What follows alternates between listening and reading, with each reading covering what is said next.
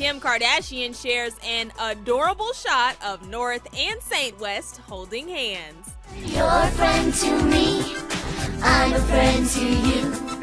When we have each other, overload.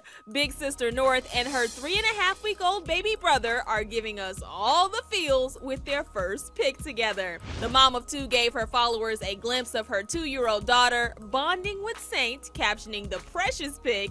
She said, He's my best friend. First time we've seen Kimye's newborn son since the reality star gave birth to Saint on December 5th. Kim and Kanye have yet to reveal their baby boy's first solo photo, but this close up of the two siblings is an adorable way to switch up Kim's selfie game in the new year.